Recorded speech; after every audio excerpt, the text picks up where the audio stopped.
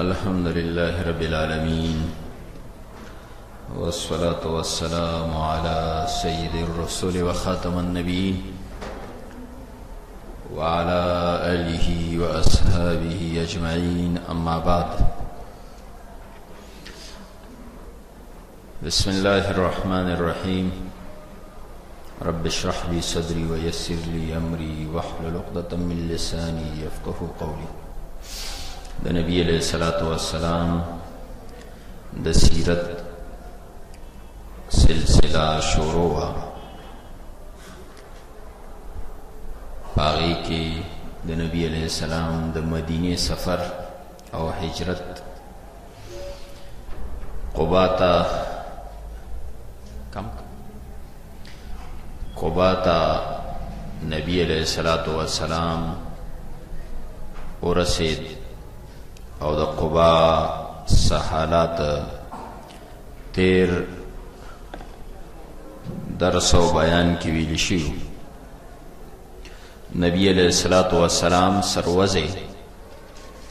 قبا کې پاتې شو او دا غینا پس مدینی طرف ته روان شو قبا کې سون روزي نبی علی السلام تیری کړی دي نو مختلف روایت دي د سیرت کتابونو کې سو کوئی دوی شروزه او سوک اتلس او سوک سور لسیادی خلیخین غوره او صحیح قول مطابق سلور ورځې قبا کې نبی علیه الصلاۃ والسلام تیرې کړې ځکه د پیر په ورځ راغلی دی پیر منګل بد جمعرات نو د جمعې په ورځ باندې نبی علیه الصلاۃ والسلام ته د الله تر طرف نه حکم شو چې زدي زینزا ځکه نبی علیہ السلام اصل کې مدینه لراغله دی او دا قبا چې ده دا د مدینې بهر هغه زمانه کې داسې کلی یا بانډه وه نو دلته د نبی علیه السلام پاتې کېدل نور ضرورت نو خو د دمې ځای او دمه شو د دې ځای خلکو ملاقاتونه وشو مسجد آباد شو قبا تعمیر وشو د هغې بنیاد کېښوستی شو د هغې نه پس د الله په حکم نبی علیه السلام مدینې طرف ته روان شو خو نبی علیه الصلاۃ والسلام چې کله مدینه ته تشریف وړو د قبانا د دې محلې نه نو بنو نجار ته سوال جواب وکړو بنو نجار هغه خلک دی چي کوم د مسجد نبوي سره اوسېدونکي خلک وو. مسجد نبوي خو وروسته جوړ شو، خو لکه دغلته اباد وو، مدینې په دې شهر کي. دا موږ ویلي وو چي د انصارو دوه غټې قبیلې وې، اوس او خزرج.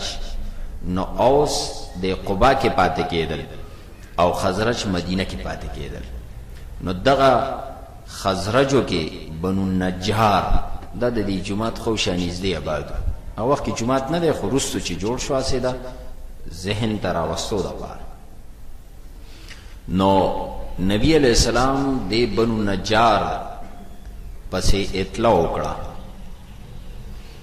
د خزرج د خلکو پسې چې تاسو راشه زه مدینه ته درځم ای ته خو پته و مخکې دا قبا د مدینې نه درې میله بهر ده. د قبا او د مدینې منځ کې درې میله فاصله ده. مدینه هغه وخت کې ټوله دغه وه چې لا نن پې مسجد نبوي جوړ دی. څونه ایریا او رقبه باندې مجنبی دې وخت کې اباد دی نو دا ټول د مدینه شهر دا خو مخکې مسجد ورکوټه وو او مختلف اوقاتو کې پکې توسیع کېده خو چې کله د شفاهت دور کې توسیع کېده نو هغه دې توسیع کې دا خبره وکړه چې زوړ سونه شهر دی د مدینه د نبی علی السلام د وخت اټول بس مسجد کې نو بهرحال دغلته دې ځای کې اوسېدونکي خلک د دې خوشه اوسېدونکي خلک دا خزرج دي او په خزرجو کې دا بیا بنو نجار دي دا بنو نجار د نبی علی السلام ماماخیل کی ماماخیل ماماخیل دو چې مخکې موږ ابتدا کې ویل د نبی علی السلام نیکه حاشم هغه د شام سفر یې کولې او دلته مدینه کې د بنو نجارو کې یو یار دوست تعلقدارو د کاروبار لین دین اکربا پتلو یا راتلو کې پاتې کېده دغه یو لور وه اسما او هغه ته بیا غوستې و یو سفر کې اوله ورکړې وه شرط یې دایښی و چې درکوم به خو اوسی به ما کره بل ځای ته به نه ځی نو په دغه سفر کې ده وعده وکړو هاشم او بیا د دې نه پس دی روان شو شام ته قسمت ده چې هلته بیا وفات شو نو د هغې نه دا عبدالمطلب پیدا شوی دی نو دا خلک د نبی علیه السلام په دې بنیاد ماماخیل دي نو نبی علیه الصلاة والسلام دغه خپل ماما خېلو بنو نجار پسې اطلاع ولېږه د مدینه شهر خلکو پسې چې تاسو راش زه مدینه ته داخلېږم او درځم هغوی سره د اسلحو د تورو تورې په غاړه په لاس کې رال ځکه چې څوک څه ونه وایي پیغمبر ته که نه دښمنان خو ډېر دي مدینه خو دا وروسته چې څنګه اباده وه مسلمانانو ابتدا کې خو داسې نو اوس کې څه کسان، خزرج کې څه کسان، ټیک ده چې دعوت سره خبره خوره شوې وه خو بیا هم یهود موجود وو، مشرکین دغه وخت کې هم لو. خطرات هم وو یقینا، اندروني، بیروني خطرات خو څوک څه ونه وایي پیغمبر ته. نو نبي علیه الصلوة والسلام پسې رالل او د نبي علیه السلام نه دواړو طرفو ته روان شو، نبي علیه السلام په خپله اوښه باندې سور شو، ابوبکر صدیق رضی الله تعالی عنه یې ځان پسې شاته کېناوه. دوی چې کله روان شو تلل مدینې طرف ته نو سحر د جمعې په ورځ روان شیو خو داسې زوال ټیم کې یو ځای ته ورسېدل یو وادي ده چې په لار کې راځي چې د قبانه مدینې ته ځي دغه وادي ته رانونه وي رانونه دغلته بنو سالم بنو سالم بن عوف سالم بن عوف دغه اولاد وسی خو دغه محله ته بنو سالم د دې عربو او د مدینه د محله د د پلار نیک په نومونو باندې آباد پلان کې خېل او ډنګري خېل لکه زمونږ د کلو کې مداسي نو دقلت آباد خلق بنو سالم بنو سالم بن عوف د مونږ ټیم دغلته مسلمانان او د مخکې نه نبی علیه السلام دغلته ایثار شو او دغلته د جمعې مونځ کو ځکه د ماسپخین ټیم او د جمعې ورځ ده نبی علیه الصلاۃ والسلام دا اوله جمعه ده چې په اسلام کې وکړه نبی علیه السلام پړاو کړ او نبی علیه السلام د دې جمعې مانځنه مخکې خطبه وې پاو خود هغه خطبه ډیره فصیح او بلیغه خطبه اوږده خطبه ده خو لیکن دا یو خطبه پورا هغه تقریر د سیرت کتابونو را نقل کړي خو بس هغه حاصل دا دی چې د الله د حمد او ثنا نه بعد او د شهادت نه بعد څنګه چې خطبه کی دا نه بعد د الله او د الله رسول اطاعت طرف ته ترغیب ورک دا رنګ ورسره د دې سره سره د تقوا تذکرہ خطبه کې ډیره د الله نو یریږي تقوا اختیار کې د تقوا فائدې ویلي بیا د عمل تذکرہ کړي د عملو کې د آخرت لپاره تیارې وکړي فکر اخرت او عمل او احسان څنګه الله احسان کړی دی یو بل سره احسان کړی دا څوک د خطبه او خدای حاصل کله چې نبی علیه الصلاۃ والسلام منز د جمعې ادا کړ د خطبه نه بعد نو نبی علیه السلام پاسې دروانې ده نو دی بنو سالم چې دغلته کم صحابه دی جمعات سره او دی ځای سره وخوشه ای نبی علیه السلام ته چې رسول الله ته کم خوازه خو موږ سره پاتې شي دقه ځای باندې نن سبا مشهور جمعات ته مسجد جمعه نا خلک چې کله حج عمرې له لاړ شي کنه مدینه کې مختلف مساجد او زیارت کوي نو یو پکې مسجد جمعه ده دا مسجد جمعه اوس اوس بند ده چې دا مخکې متلم نو تعالی وتا چوری والله عالم یا به پکې توسیع کوي یا بس وجوهاتي خو دینه مخکې چې تلونه یو ماسپخین مونږ مې پکې کړي اوس دا یو کال به مخکې چې تلونه د تعالی والله اعلم خو بهر حال دغه مسجد جمعه چې ده نو دا هغه ځای دی چې نبي علیه السلام پکې د سفر د قبا نه چې مدینې ته ته شهر ته نو د جمعې د ورځې مونځ او اوله جمعه د اسلام نبي علیه السلام دغلته ادا کړی بهرحال د دغه قبا د دې بنو سالم صحابه نبی علیه السلام ته وی چې رسول الله تم سر دلته پاتې شکنه دلته زکه پاتې شه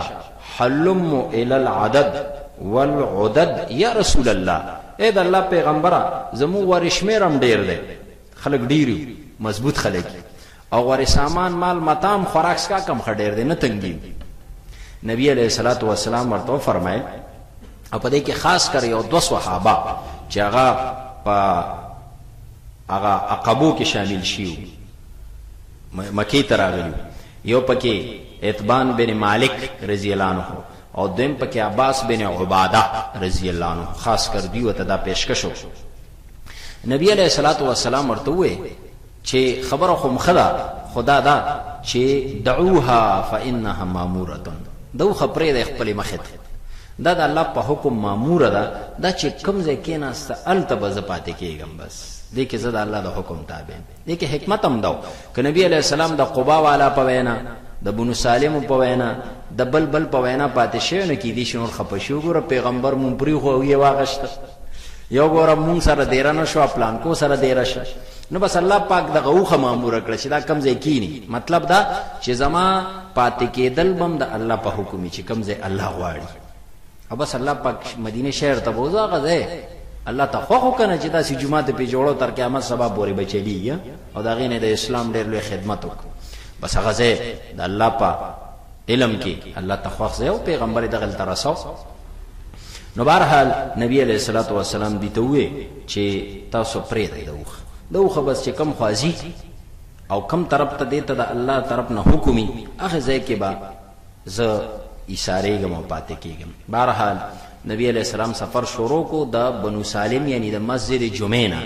او مخکې مدینه شهر طرف ته روانو کله وی چې خار ته ورنږدې شو د مدینه شهر نو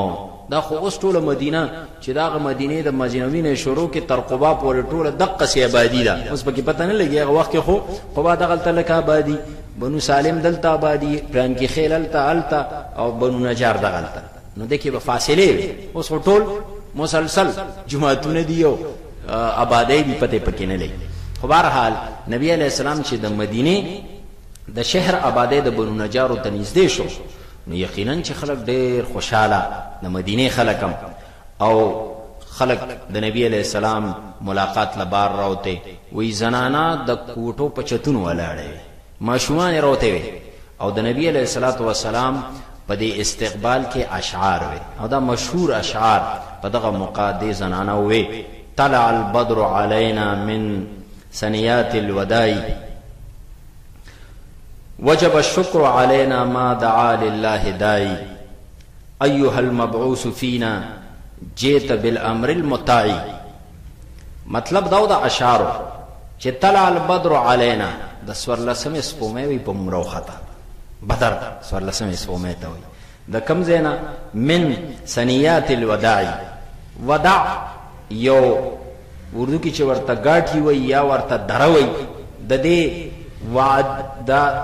د دې وادي طرف نه دا ثنیات الوداع دغه طرف نه په مونږ باندې وي د څوارلسمې سپومې راوخته نو وجب الشکر علینا ما دعا لله داعی سو پوری چې د الله یو داعی موجودی دنیا کې او د الله طرف ته دعوت ورکي نو په موږ دا شکر واجب دی چې د الله دا شکر ادا کو ځکه چې د پیغمبر نه بعد یو سلسله شروع شو کنه او چې سون ارزه کې د الله دین قال الله قال رسول او دعوت کیږي خو دا د الله غ مهرباني د پیغمبر نه سلسله جاری ده او بیا نبی علی السلام مخاطب کړو په دې اشاره يا ايها المبعوث فينا جئت بالامر المطاع اي د الله طرف نه راليږلي شويه تا مونږ ته داسې احکامات او دین راوړی دی چې دا غي اطاعت په مونږ باندې واجب دی مونږ بس دا دین او ستاد حکم منو دغه رنګ ماشومان جنکه وي ای سره تنبلون لاس کې تنبلې وخه او دا اشعار یوي او دا اشعارم بکیو نحن جوار من بنی النجار یا حبذا محمد من جار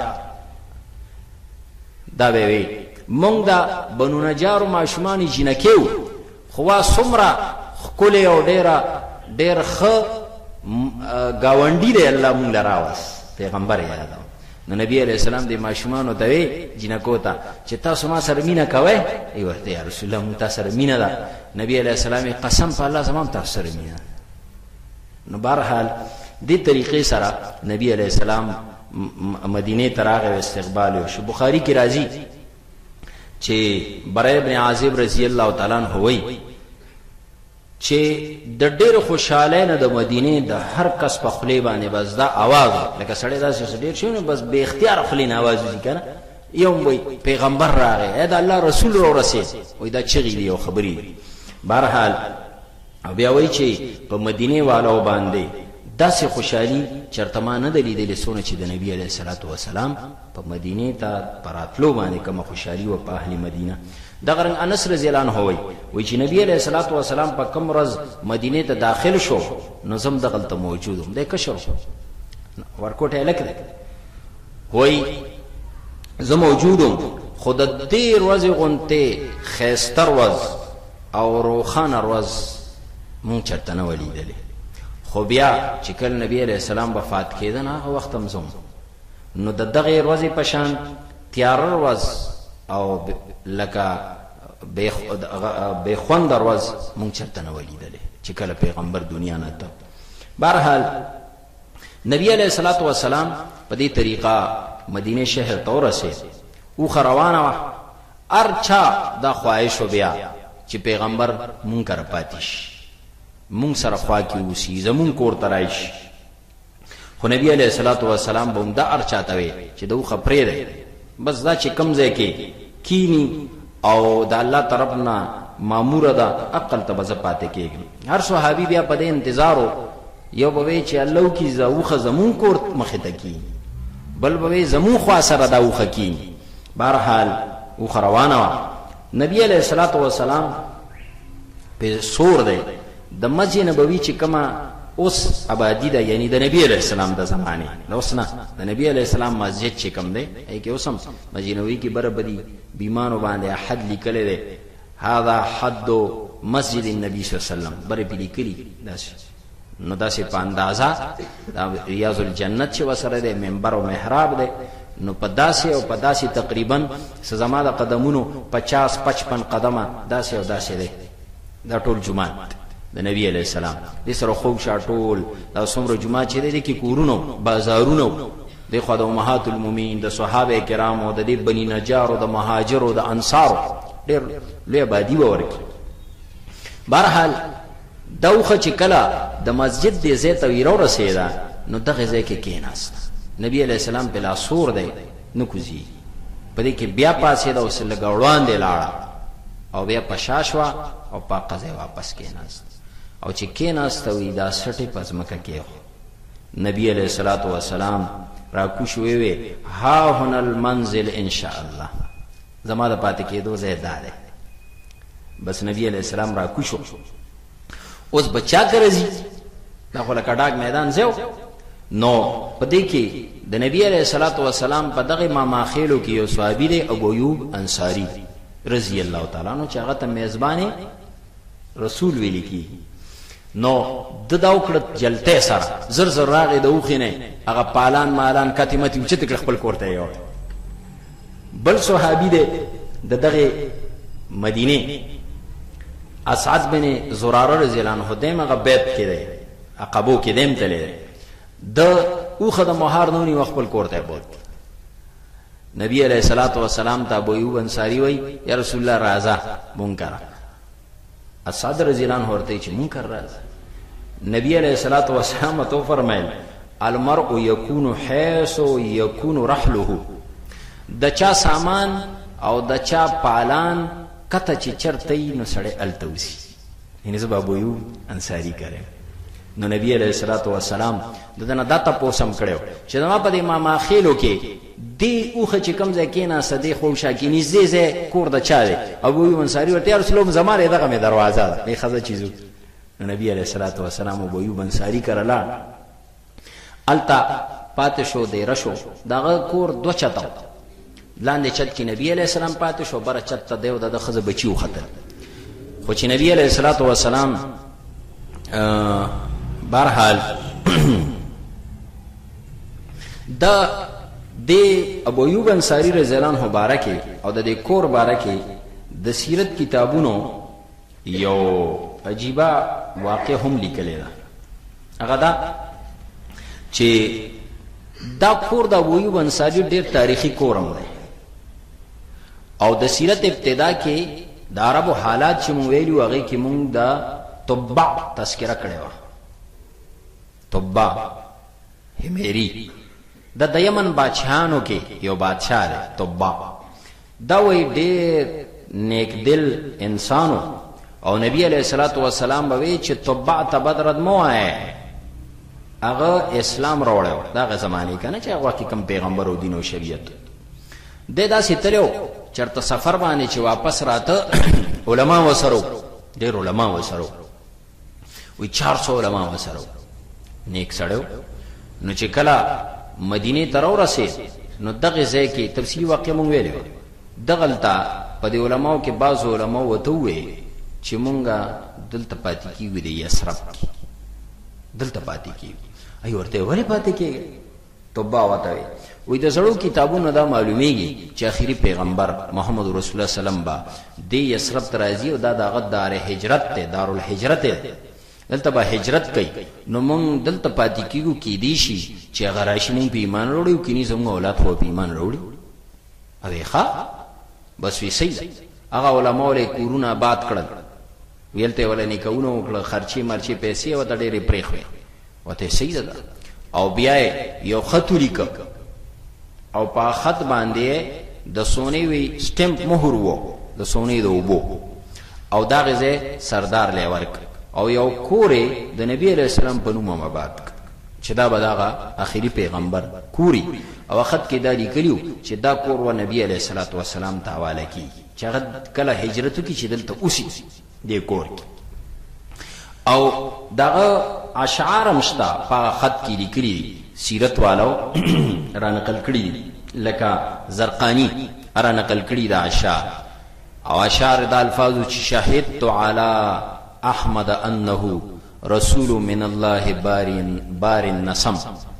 زه گواہی کوم چې احمد محمد رسول الله سلام لکه په خوانو کتابونو کې نبی علی السلام ته احمد ویل شو زه گواہی په دې کوم چې احمد د الله طرفنا رسول له هغه الله چې نسمه او دا انسانان پیدا کړی کنه نسمه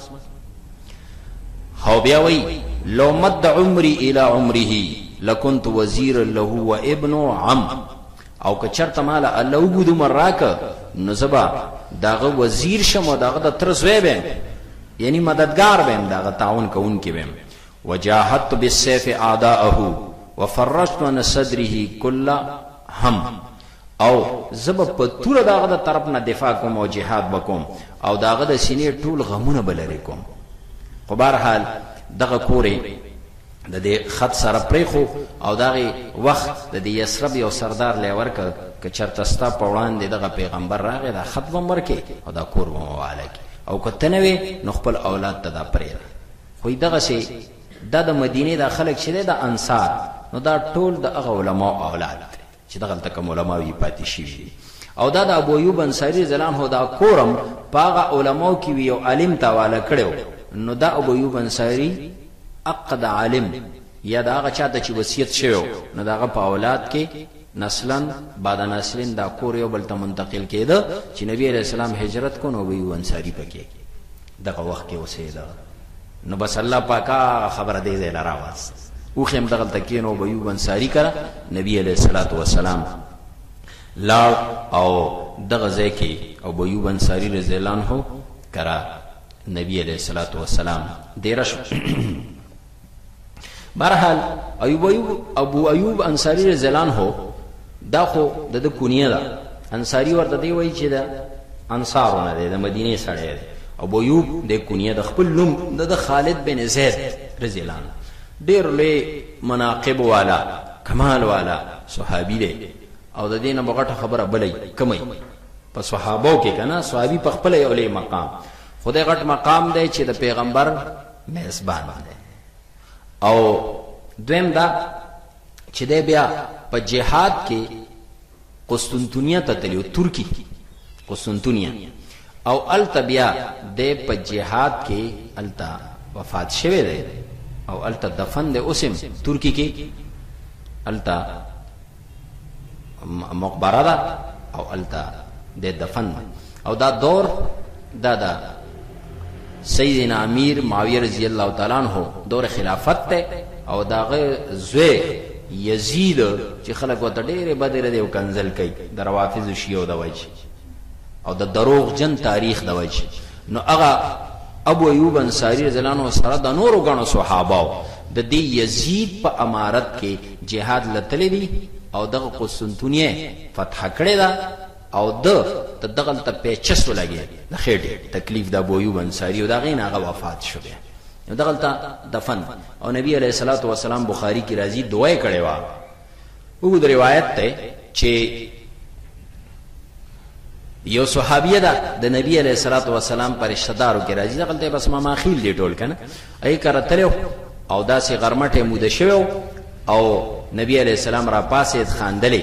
ای ورته وی یا رسول الله ولی خاندی وایی خوب می ولید چه زما یو هغه چه دی څه ورته وایی د امت یو ډله مجاهدین هغه لګیا دی قسطنطنیه کی جنگی او بیا سترګې ورلې اوده شو بیا چې راپاڅېد خاندلې بیا نه تې هغې تپوس وکړو نو نبي علیه الصلوة والسلام ورته وې وایي زما یو بله ډله د امت هغه به په بحر سمندر کې جهاد کوي نو دې زنانه وته یا رسول الله مال دعا وکړه چې زم پکې شامل شم نو ته دې اول کې نه دویم کې بحر جهاد کې بیا د تلو جهاد کې بیا تلو داغه نوم ام حرام بنت ملحان ده رضی الله تعالی عنها بهر حال وګو د دیس ته او د واقع د خمار لنډ کړه مقصد تر اعظم نو دقه یو جهاد چې کم په سمندر کې شوه دی د قبرس قبرس فتح کړو نو دا جهاد چې د سمندري دا د عثمان رضی الله عنه دور خلافت کې شوه دی او امارت د معاویه رضی الله بحري بېړۍ جوړه کړې وه او سمندري جهاد شوی او دویم د معاویه ځلان دور خلافت کې قسطنطنیه کې شوی دی او داغه امارت یزید سره او د صحابه کرام پکې شامل شي به د ایوب انصاری جنازه هم یزید کړي ده او هغه رومیانو بیا دا ابو ایوب انصاری زلان هو قبر سر سره تعارض کو یعنی هغه سبیزتی کولا ناغه مقبان دی یزید جیب تقریر کړي او ویلی دی تاسو ته پته ده دا صحابی رسول او میزبان رسول له د د قبر سره چا تعرض کو نو په ټول عرب کې جزیره العرب کې بستا سرانه یو کنیسا ګرجم پاتې نشي نو بهرحال دا ابو ایوب انصاری رضی الله عنه نبی علیه الصلاۃ والسلام چې په دغه ورځ دلته راغې نو نبی علیه الصلاۃ والسلام د توی چې مونږ چون کې ستړیو نو مونږ له د قیلولې زې تیار کړ د آرام نو اول زې مې تیار کړ نو نبی علیه الصلاۃ والسلام ابوبکر صدیق رضی الله تعالی عنہ آرام کو د دې پکور کې بیا چونکه لاندې به نبی علی السلام پاتې کېده او برا ابو ایوب انصاری رضی الله عنه بیا د نبی علی الصلاه والسلام کور والا امرادل د مکینا لکه د نبی علی السلام بی بی دا سودا رضی الله عنها دغه وخت کې دا یو بی بی با عائشه رضی الله عنها سره کیدن نکاح شوی و خو واده نو شوی او لونه وی د نبی علیه الصلاۃ والسلام چې کومې کور کې ولکه فاطمه تو زهرا رضی الله عنها علی رضی الله عنه د کور سړی دی نو نبی علیه السلام دغلطه پاتې کېده لاندې چت کې دیو نبی علیه السلام بره چت کې ابو ایوب انصاری رضی الله عنه نو یو شپه دا سو شو چې دی بره چت باندې یکدم د ابو ایوب انصاری رضی الله عنه سره کې خبر رااله چې لکه پیغمبر لاندې د چت د لاندې دی مونږ په دې چت ګرځو پیغمبر ته تکلیف نه رسی یا مونږ په دې ګرځېدو را ګرځېدو کنه آرامه خراب نشي او دویم مونږ په تیری کې پیغمبر بلاندې ناشي بے دبیونه شي نو کور ته خزه بچو ته ویلکه په دې منځ م ګرځې دې غاړو غاړو ته ګرځې سایجی بخلکو صحابه کرام دې ادب ته وګوره دې مینه ته وګوره سار چراغ نبی علیہ السلام سره ملو شو ته یا رسول الله داسې وکړه ته بر وخیژه موږ به لاندې راکوز شو چې لکه بې ادبي ونشي رانه نبي علیه السلام ورته ویل تاسو بر خیژئ ځکه زما مېلمانه راځي بیا به تکلیف وي نو داسې زما سره په اسانه باندې ملاویږي دی ابو ایوب انصاری رضی الله عنه چې سونه پورې دغلته و نو دبا تیاری کوله کور کې د روټه و غیره او نبی علی السلام له راوړه وی چې کله به نبی علیه الصلاة والسلام روټه وخوړه او د لوخي لرګي به خادم د ابو یوب انصاری زلان هو واپس یوړل نو د خادم ته وی چې د پیغمبر کم زینه خوراک کړي باقی چې وپات او ته دقه زینه دغه زینه به دوه خوړه د برکت او د مینې محبت د وجه یو ورځ ول دغه سی روټه خوراک لګلو نو نبی علیہ السلام په غرض نه خوړه نور کسانو خوړه کور والا هر څوک چې نبی علیہ الصلوۃ والسلام چې روټه واپس غلام او نوکر یوړه خادم نبی ایوب انصاری تپوس کې پیغمبر کم ځای نو خړوي خو نه خړل ولی پیغمبر نن خوراک نه دی و یری چې څه چلو شو پیغمبر خپله یا داغه مناسب با هغه خدمت نه شوی نبی علیه السلام نبی علیه السلام لراغه نبی علیه السلام ته یا رسول الله تا وینن روټه نه خوړه او ورته او ولی یره دی کی تا وګا چولې یا رسول الله ولی وګا حرام ده نه حرام نه ده خو مال هغه سوک راضی او هغه چا سر خبره کوم چې تاسو سر نه کوي فرشتې راځي او هغه ته دا بوی بد لګي مثلا دا دا چې اوسم سړی جمعه ترازی نو کچا پیاز کچا وګبا نخري ځکه حدیث کې راځي دي ته فرشتو نه تکلیف فرشتو ته دینه تکلیف رسی لکه انسانانو ته رسړي پیازو غو خړلې څنګه بدبوې راځي نو د منظور په ټایم کې کچنی پکا البته پخا هر وخت سړی خوري چې کله په طبي باندې او په تړکې باندې پخشینو بیا خیر د پیازو خو مطلب دا چې حرام نه دی خو لیکن دغه احتیاط او ادب دی چې د مونږ په ټایم کې داسې اجتماعي موقع باندې بیا کې یو سړی خړلې مینو دا غي د ازاري کوشش دی مثلا لاچی و غیره داسې چې هغه د خلینو بدوي لري شي برحال دغه سي یو ورځ نبی علیہ الصلوۃ والسلام لاندې چت کې دی او بره د شپې اتفاقي چرته د اوبو لوښی مات شي لکه مثلا جګ یا مثلا منګی دا رنګ چې د چاټه وغیرہ د خورو وخت کې هم تر د خورو دغه شینو وبد پیش د سره یره شو اسنه د وب چرته لاندې لاړ نشي پیغمبر تکلیف نه رسي داسې په خچتونه خونو کنه فرشونه کچا آبادی او د خټو او د لرګو نو خزي ته ویل شابه د وبو سوچول غواړي ای پسی و چی کو نو په کور کی وکره یوه بړستن وه هغه یې راواغسته یې پی واچوله او اوبه یې په هغی و چیک او ای په دغه وخت کی ده کور کی صرف دا یوه بړستن وه شپه دغسی تیره کړه داسی عجیبه خلک صحابه کرام چی نبی علیه الصلوة والسلام ته تکلیف ونه رسی بهرحال نبی علیه الصلوة والسلام دغه د ابو ایوب انصاری رضی الله عنه کور کې و میاشتې پاتې شوی دی و میاشتې دلته پاتې او بیا چې کله مسجد نبوي جوړ شو نو مسجد سره خوا کې بیا دا حجره جوړې شو نو نبی علیه السلام ته منتقل شو بیا بهرحال دې طریقې سره نبی علیه الصلاۃ والسلام مدینه ته تشریف وروړو او دغه سید ابو ایوب انصاری رضی الله عنه کور کې بیا دیر شو خو مدینه تراتلو سره نبی علیه الصلاۃ والسلام بنیادی او درې غټ کارونه کړی کارونه ډېر دي، خو بنیادي درې کارونه دي. په هغه درې بنیادي کارونو کې یو تعمیر د مسجد نبوي، دویم مواخات د اصحاب کرامو ترمنځ ورورولي قایمول، یو صحابي د بل ورور مواخات یې وکړ، او دریم میثاق مدینه، د مدینې نورو قبایلو سره، نورو مذهبونو وغیره سره یو غټه معاهده د مدینې په سطح باندې شوې وه. دا درې کاره د نبي علیه السلام بنیادي کارونه دي. او په دې دريو واڼو په يو يو به داسې په ترتيب باندې خبره کوو اقول قولي.